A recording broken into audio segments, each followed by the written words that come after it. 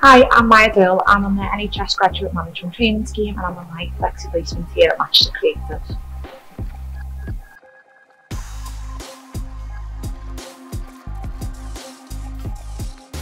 The NHS Management Scheme is a two-year programme that involves um, leadership and management training for future NHS leaders. There's six specialisms. I am on the General Management Scheme we have four placements. This is one of mine, and this is an eight-week placement where we go outside the NHS to further our skills.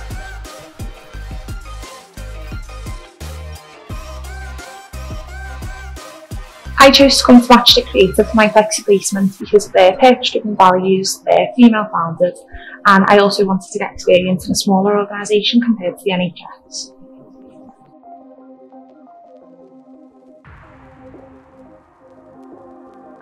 My role at Matchstick was to develop my leadership and management skills across core areas of business and help deliver on and improve processes around business planning, HR and diversity, and account management and relationships.